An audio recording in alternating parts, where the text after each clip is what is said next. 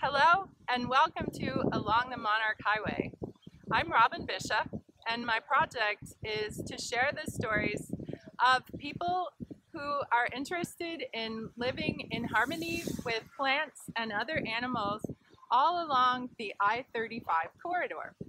The I-35 corridor runs along the migration route for monarch butterflies that overwinter in Mexico and then fly all the way back to Canada.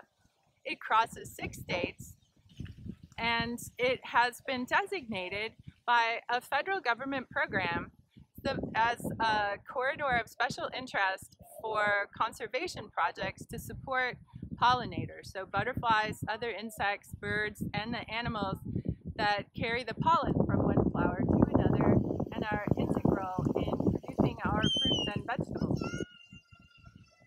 In 2015, the federal government an announced an intention to support a butterfly corridor.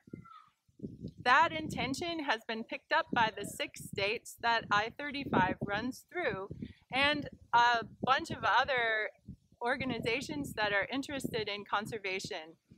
And um, they've dubbed I-35 the Monarch Highway. They'll be putting signs up. This year they selected a logo that will be on the signs that will go all along I-35. So that's one way that and that governments support the butterflies. They'll be using the rest areas and um, the areas alongside I-35 for planting plants that will support the butterfly. It's a long way for little butterflies to fly. They need to have the right food. They need to have places where they can lay their eggs.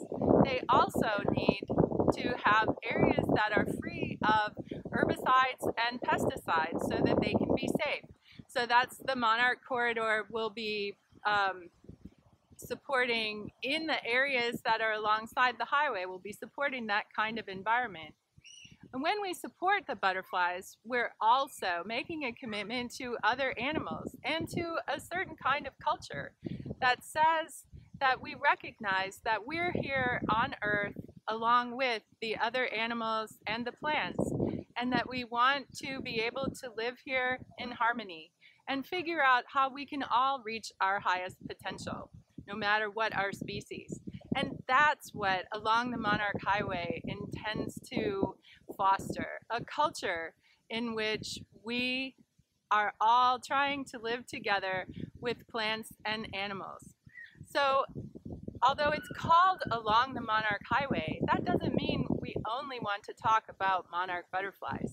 We want to talk about every animal and every plant that is living in this migration pathway for the butterflies.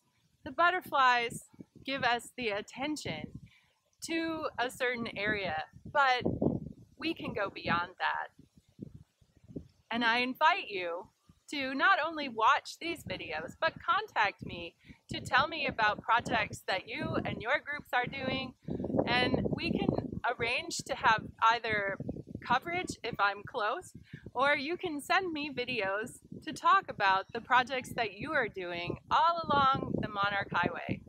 Again, this is Along the Monarch Highway, and I'm Robin Bisha, and thank you for joining me.